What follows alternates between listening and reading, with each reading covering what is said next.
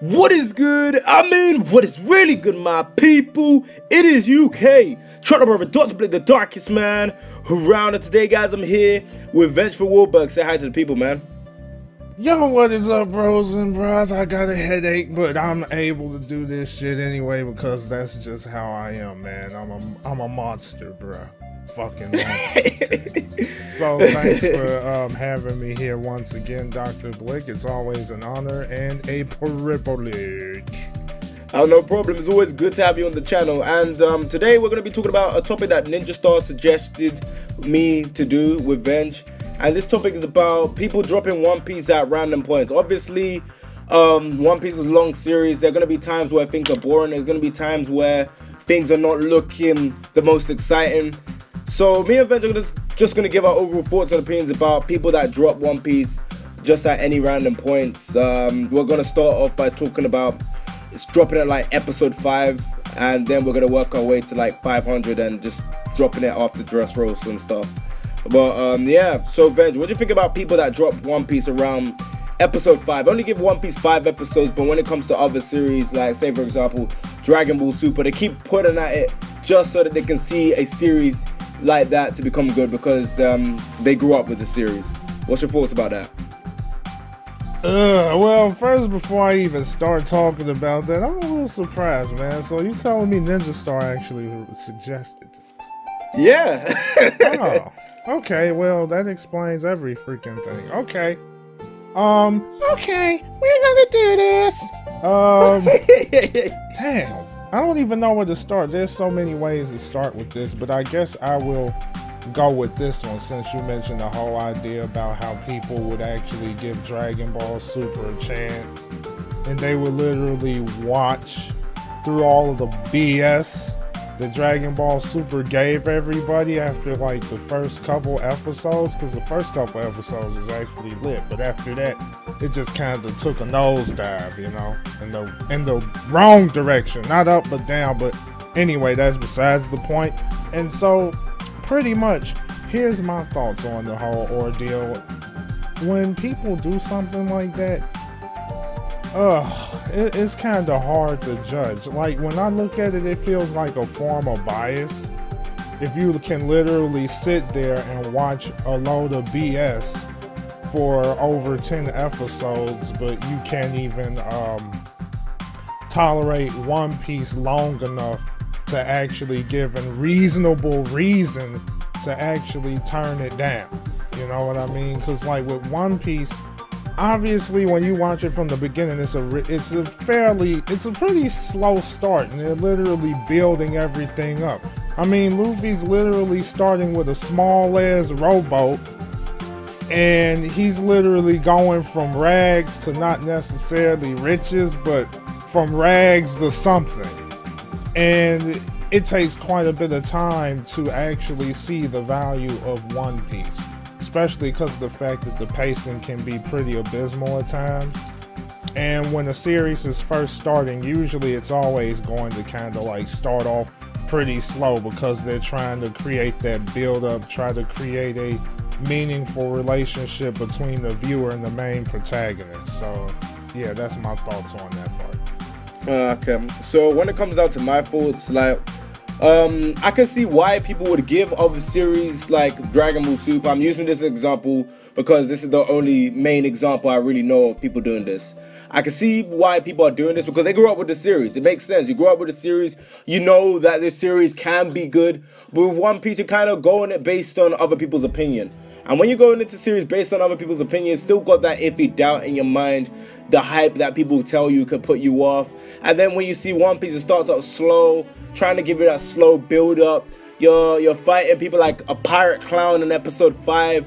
You're, you're seeing like a lot of jokes, not really action of the intensity that people describe it to be. Nothing, nothing really shocking happen happening. It's just all pure comedy elements that is happening at that point of the series. So when it comes to people doing that, yes, it is biased. There's no doubt about it. It is biased, but it's a bias that is kind of understandable if you were to look at it from a um from a from a, from their standpoint. They're used to the series. They know the series can be good, but it's still biased. Bias is bias. Everyone is biased in some sort of way.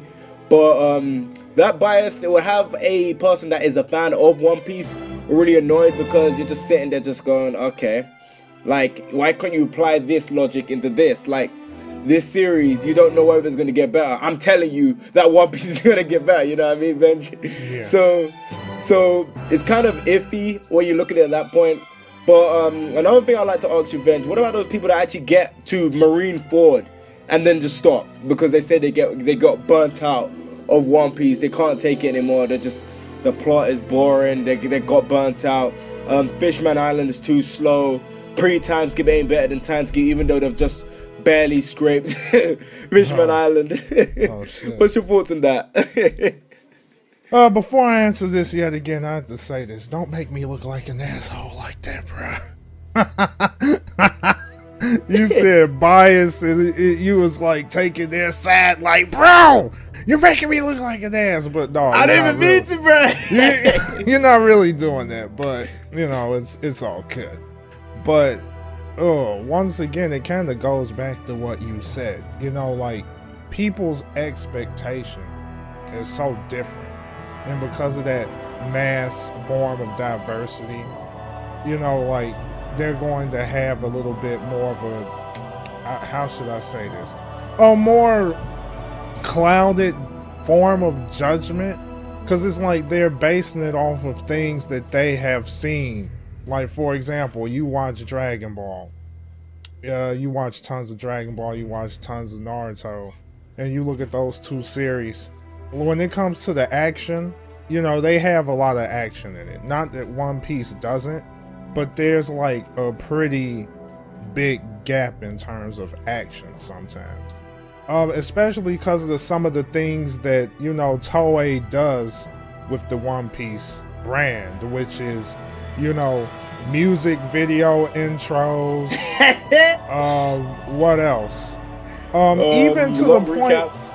Yeah, long ass recaps, bro. Like, damn, like by the time it's over, that's like almost a good three solid minutes wasted when that could have been used to actually progress the plot even further. And because of all of these elongated periods of stagnation, you know, that can really set a lot of people off that is more into it for the action.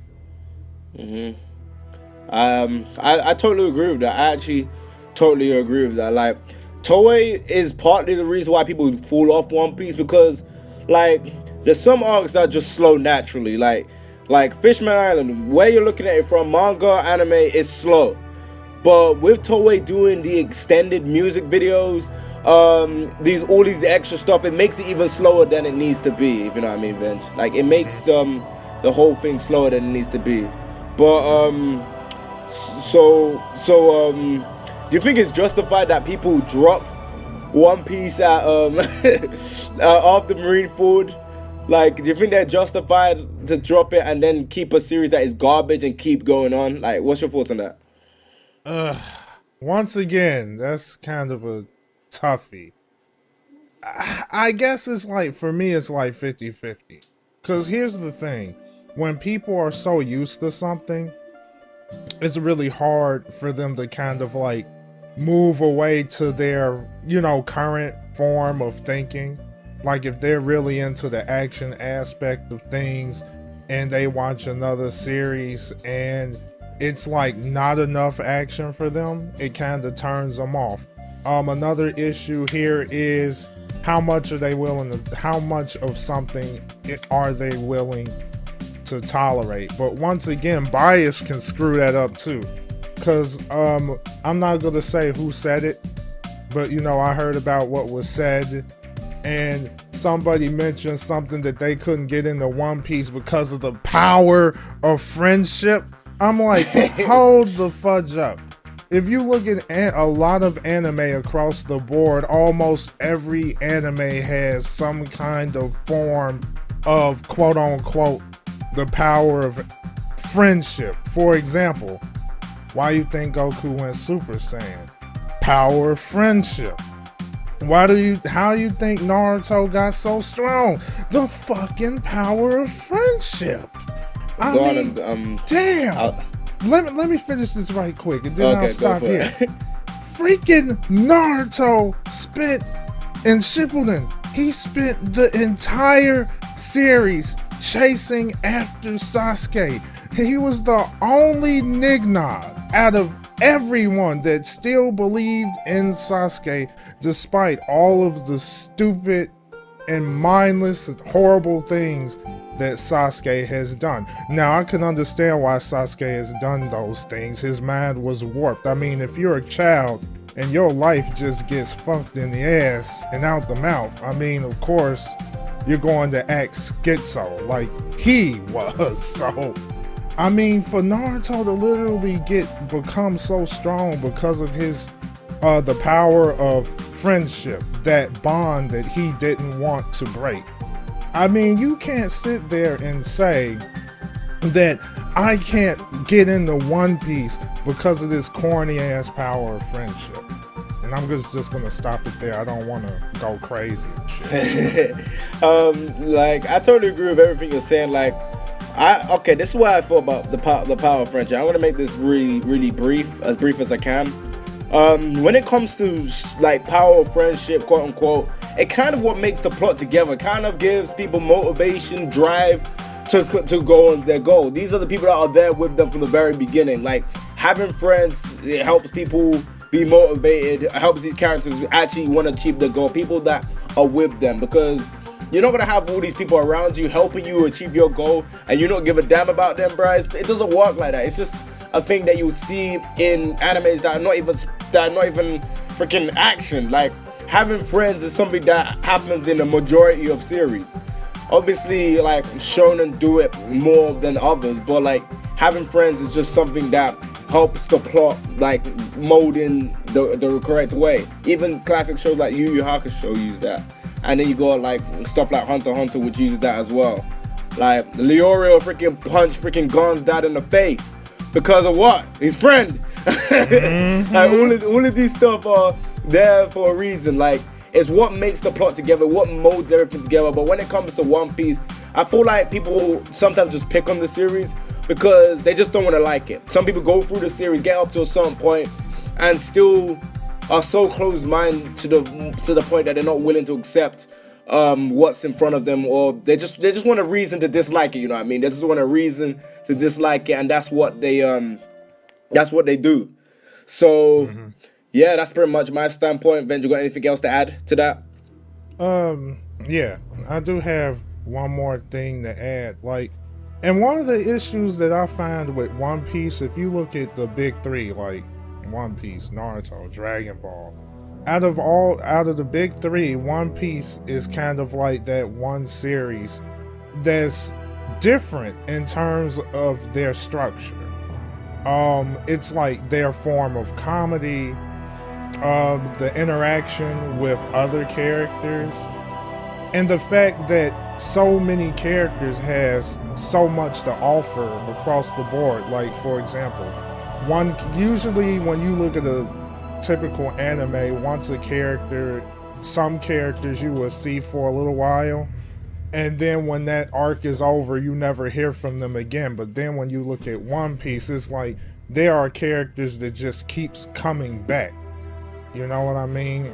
Mm-hmm. And so sometimes it's like, even though it's a really strong, it's really strong it makes the story really strong basically it makes the story really strong however because of this like i guess like in-depth series it kind of like makes the series longer than it needs to be and because because of the pacing when you compare it to the other series i mean it moves fast like dragon ball and naruto they progress pretty pretty quickly because they don't have to go ham with flashbacks. They don't have to keep doing, you know, like bringing characters back. They just move forward all the time. If a character's usefulness is done to them, you don't see them again. You know, I'm just gonna stop there so this doesn't be a 20 minute video. Okay, yeah, I totally agree with everything you're saying. Everything you're saying is true. But um, I want to know what you guys think about this. Leave your thoughts and opinions down in the comment section below. make sure you check out Vengeful Wahlberg's channel because he always helps me with these type of One Piece videos. Originally, I wasn't really planning on doing this. Ninja suggested that I would do this because based on the videos that me and Venture made in the past about One Piece's popularity and um, how well it does. So yeah, that's pretty much how this video came about. So like I said guys, check out Vengeful Wahlberg channel will be in the description below. I highly recommend it. And yeah, let me just wrap up this video. So please comment and subscribe. I know I say this all the time, but at the end of the day, I'm just saying, please like, rate, and enjoy this video. And yeah, this UK, Chocolate Brother will catch you in the next one. Bye guys. Peace.